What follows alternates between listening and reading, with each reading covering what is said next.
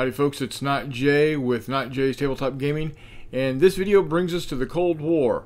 We're taking a look at Lock and Load Publishing's World at War 85, and we're going to start with looking at some of the armored fighting vehicles and the counters that represent them. So let's go ahead and get going. Here we have a unit counter for an M1 Abrams, as you can see here by the unit name. Uh, on the left uh, top, you've got the armor uh, piercing rating. It gives you the range in hexes. It gives you the firepower, that's the number of dice you're needing to roll, and then your uh, number to hit on a d6. So this uh, tank can fire up to 11 hexes using four dice, looking for fives to hit. Uh, so reason why you're rolling four dice is because that's the number of tanks in a platoon. Uh, I mean, it's you in a in the standard uh, doctrine. The United States Army puts four M1 Abrams into a platoon, so you've got four there, and then the five is representative of the the power that on an M1 Abrams uh, that you get with that 105 millimeter rifled cannon. So when we take a look at the M1A1 here in just a second, you'll see the difference. Over here is your high explosive firepower. Its range of five. Uh, its firepower is three, and its to hit is uh, five as well.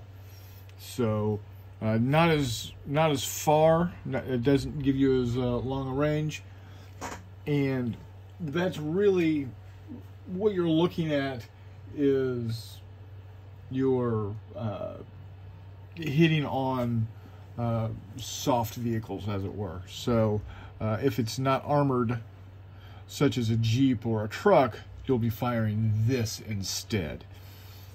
Down lower left, you've got your armor uh, value and your to uh, save number. So you're going to be rolling four dice needing fives to save because it's a pretty well armored vehicle.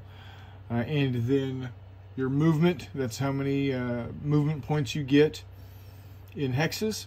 And then your assault. So if you're going up against infantry or, you know, in fact, other tanks, you're in this particular instance, you're rolling a firepower of two, two dice, needing fours to hit.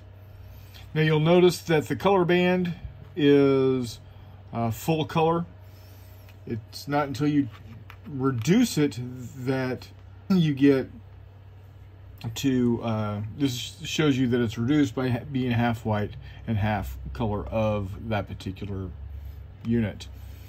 Uh, and when it does get reduced you do see that your firepower does change. You go from four dice to three dice and your high explosive goes from three dice to two dice. Your armor remains the same and but your assault value uh, is reduced. So that's what happens when a platoon takes damage. It does not become as combat effective. So, so let's go ahead and take a look at that compared to the M1A1. Bring the M1A1 in here. As you can see, the M1A1, which has got a 120 millimeter smoothbore gun, built by the Germans and provided to the United States Army. It's got a bit longer range at 14 uh, hexes. It uh, has the same number of dice being rolled, but it hits a whole lot harder. You're needing a 3 to hit instead of a 5. And your high explosive, it's going to have a better range, but it's going to have the same number of dice and the same number of same to hit number. There's not much difference armor wise between the M1 and the M1A1, so your armor uh, and armor save are going to be the same as well as your assault, and it's got the same speed. Now you may be asking, what's that little orange triangle? And that little orange triangle is telling you that it's got composite or reactive armor. And that's important here and here. That's important when uh, dealing with certain effects uh, when being fired at. So that's your M1A1 and the uh, your M1 and your M1A1 Abrams. Uh, giving you a, a, brief description of what each uh, counter gives you information on.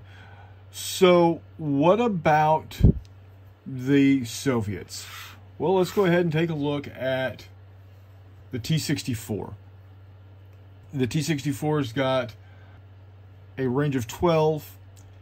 It only has a firepower of 3 because they only have 3 tanks in their platoon.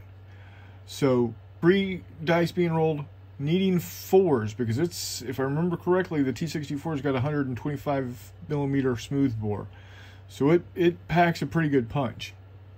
Its high explosive is six, uh, six hexes with, uh, again, uh, three dice and giving it a five to hit.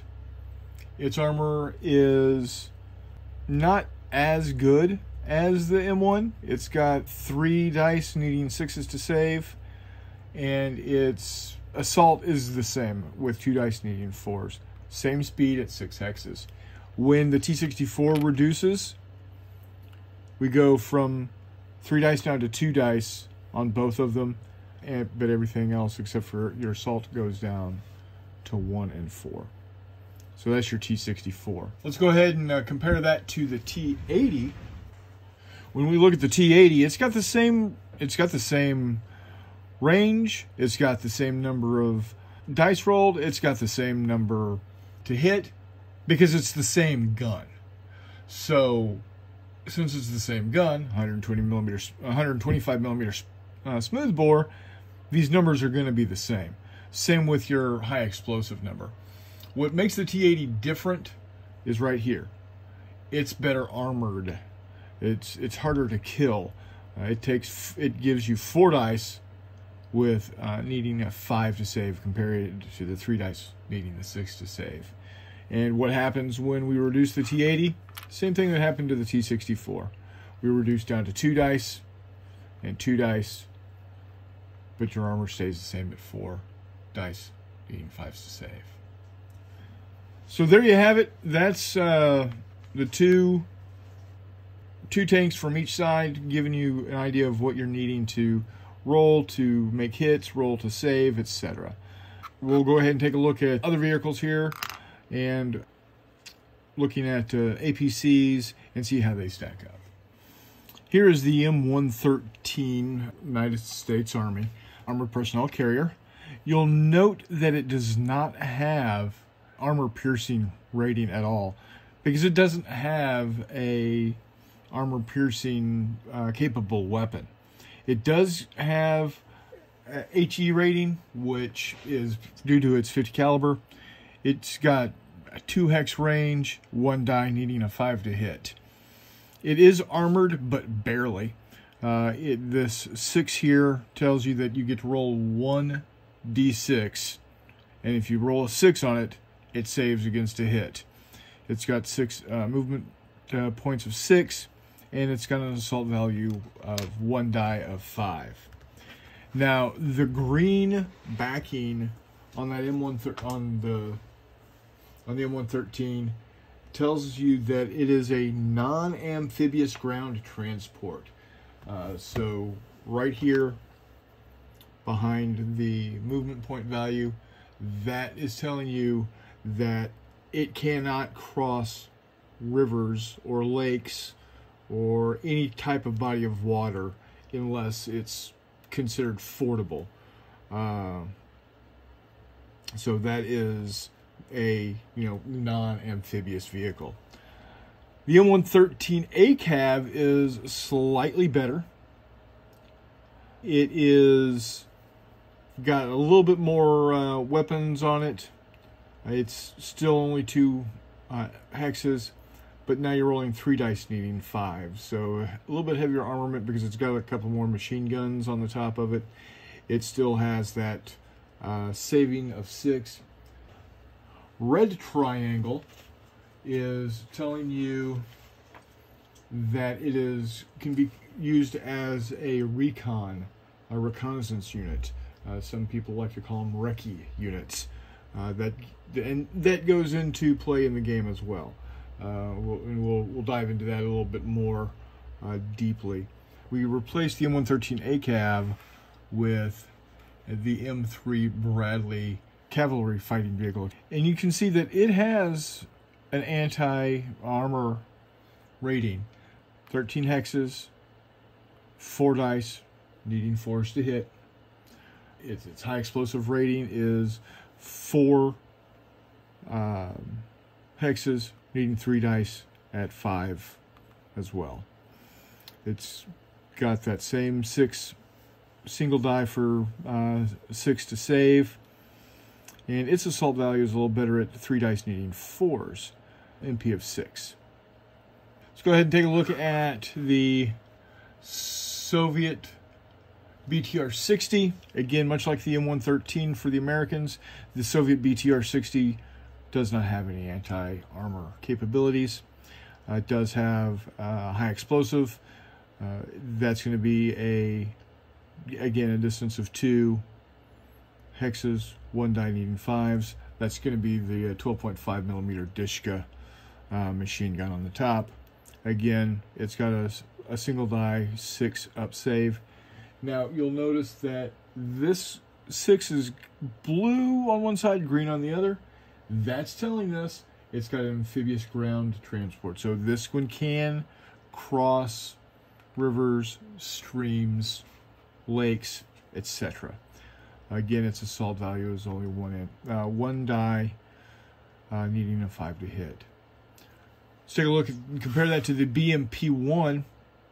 The BMP-1's got a little bit better capability. That's got 11 range, three dice needing fours to hit, and it's got that Recce triangle that gives you some anti-tank capabilities, gives you reconnaissance abilities. Its uh, HE is three uh, hexes, two dice needing fives to hit.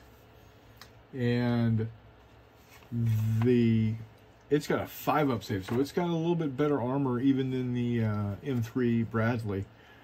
It is also um, amphibious, as well as the assault of one die needing a four to hit. And there's a couple of the different vehicles that aren't tanks that you'll find on the battlefield. So there you have it. Several of the armored fighting vehicles, the uh, Soviet T-64 and T-80, the BMP-1 and the BTR-60. We also took a look at the U.S. Army's M1, the M1A1, the M113, and the M3 Bradley. Uh, we'll have more of these uh, in the future. Uh, we'll take a look at uh, some of the other counters in the next video. So I hope you enjoyed it, and uh, we'll see you on the flip side.